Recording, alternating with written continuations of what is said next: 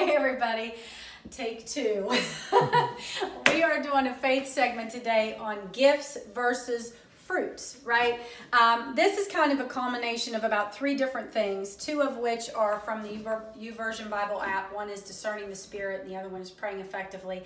And then a book I'm currently reading called The Bait of Satan. And this is just like a bunch of different notes, and I put some things together for this. Now, Romans 12 6 talks about gifts that are given. Matthew 25 14 through 30, that I believe is the parable where the master is giving gold so much to each one, tells them to invest it some of them take it and do something with it. One of them does not.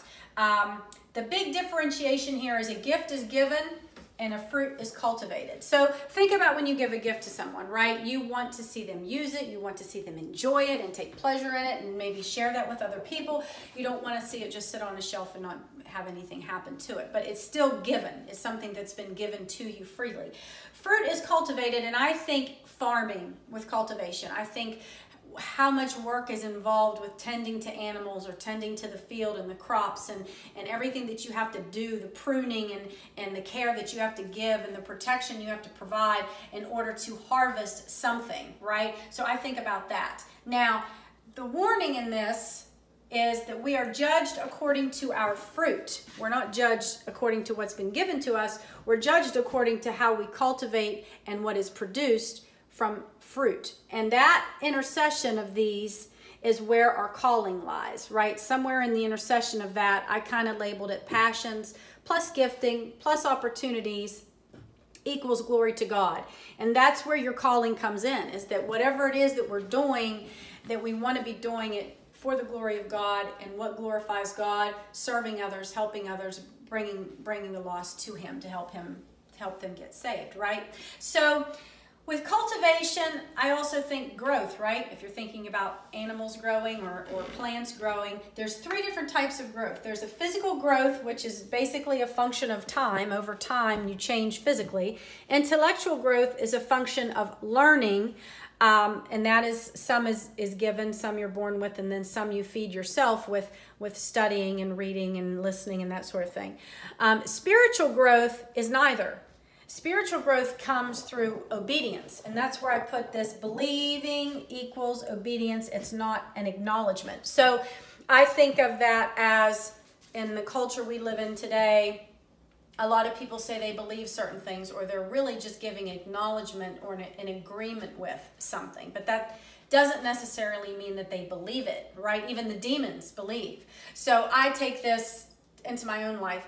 If I teach nutrition and I teach health and wellness and I say I believe it and I agree with it and I think it's a good thing for everybody, but I don't actually do anything with it and I don't go out and live it for anybody else to see, then how much can you really say that you believe it if it doesn't take that kind of hold on you? So some scriptures here we're going to reference is Psalm 37, 4. It says, Take delight in the Lord, and he will give you the desires of your heart. Now, the delight in this means to be soft, pliable, willing, and have a yielding posture. So I take that to mean waiting, listening, and then looking okay? So a prayer that goes along with that was just to just basically say lord god is there anything that you want to say to me instead of you know me wanting to say something to you? So when i was young i used to list, look at the scripture and i think oh the desires of my heart and i would list all the things that i thought i wanted. So having that delight in the lord meaning uh, means that i'm willing to let him change me. I'm willing to kind of get pruned a little bit and in doing so the delights of my heart, the desires of my heart change, right? They change and they become more in line with trusting that what God wills is what's really best for me and then being willing to accept that.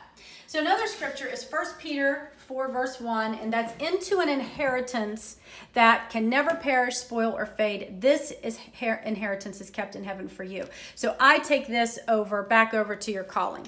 Um, your inheritance that you're getting or that you're you're preparing to leave to somebody else could very well be of eternal value. And that's again to me i hear souls lost souls.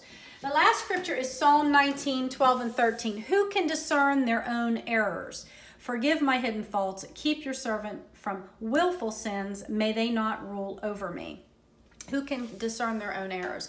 Only god can do that. And i think and I believe that a lot of times we can be operating in a place that we don't think we're doing anything wrong, right? We we we are, we may not realize that we have a wrong attitude about something. We may not realize that we're really outside of God will God's will or we're behaving in a, in a in a wrong way because that's just what we've always known. So the only person that can really divide and discern that is the Lord. Okay, so that's a that's a good prayer. I kind of like that prayer. So how do you kind of bring this all in in together here? Is through prayer. Um, prayer opens the door. It unlocks the door for direct communication between you and the Lord. You know, knock and it will be open. Seek and you will find. So when you look for the Lord and you look for His wisdom, you're going to find it. And prayer is a great way to communicate with him and find out where you stand with him and where he stands with you and what he wants and all that. So here's just a little, we call that an acronym. Okay, pray, praise, repent, ask, and yield. Praise um, should be our first go-to in prayer. Uh, to me, we got to give acknowledgement to, to God for who He is, the power and authority as the Almighty Creator of everything. You know, we need to give Him praise and worship because it's it's it's His alone. Um, repentance to me is always the next step because we have to be willing to acknowledge our part, acknowledge and accept responsibility for for our issues once they're made known to us. Um, to just repent and confess and get that out and get free from that. Ask is where then we can take our requests to the Lord, right? That's where we can say, What have you called me to do? What's the fruit that you want to see me produce? Or or heal a friend of mine or help a friend. You know, that's where we can go and put our petition before Christ.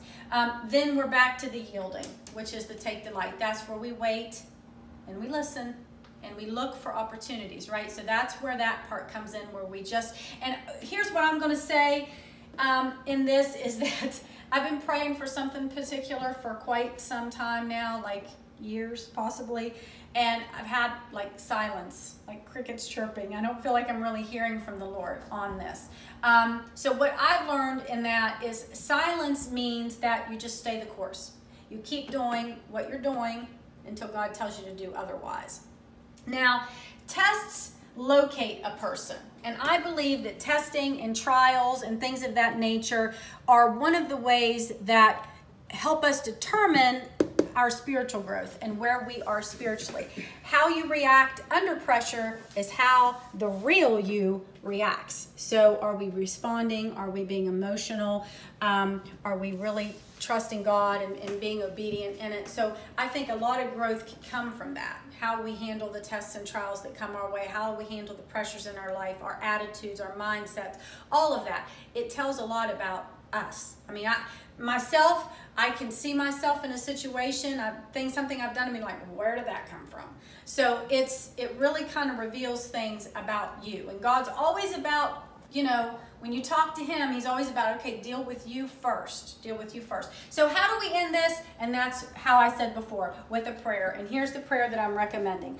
God, put the spotlight on anything in my life that has raised a barrier between you and me, and I will repent of it. Now, if you're not willing to repent, maybe the first prayer you need to say is, Lord God, make me willing to repent. I don't know. But when you put that anything in there, it could be anything.